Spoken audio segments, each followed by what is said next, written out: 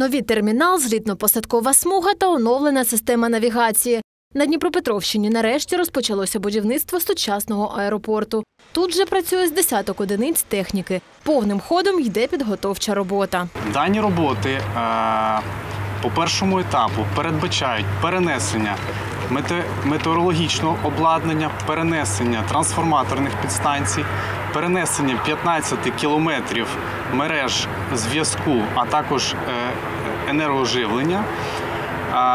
Дані роботи дозволять після завершення основного тендеру по генеральному підряду одразу без затримки приступити до виконання основних будівельних робіт, які передбачають земляні роботи, а також бетонування. Злітну смугу нового аеропорту збудують коштом державного бюджету. Оновлене литовище матиме сучасну навігаційну та світлосигнальну системи та метеорологічне обладнання. Нова смуга буде мати 3200 метрів і відповідно магістральну руліжну дорожку на 3200 метрів, швидкісні з'їзди з неї і передове е, світлосигнальне, метеорологічне обладнання і засоби аеронавігаційного е, зв'язку. Це дозволить у будь-яку погоду, не дивлячись на тумани, злітати і сідати літакам класа Є. Новий міжнародний та віп-термінали у єдиному комплексі зводить інвестор Українська промислово-фінансова група. Вони матимуть шість виходів на посадку. Поряд буде офісна будівля для працівників литовища та парковка на 1200 місць.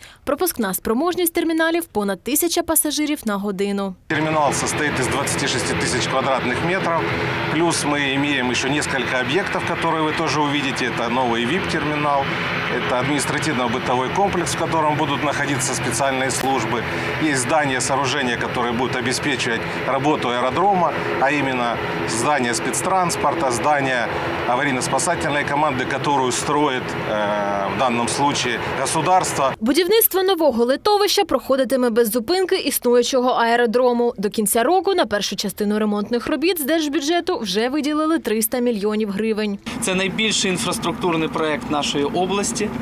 Е, І він дійсно вирішить багато транспортних і економічних викликів е, в Дніпропетровщини і сусідніх областей. Завершити спорудження сучасного аеродромного комплексу планують протягом двох-трьох років. В середньому щорічно він прийматиме понад півтора мільйона пасажирів з можливістю збільшення цієї цифри майже вдвічі.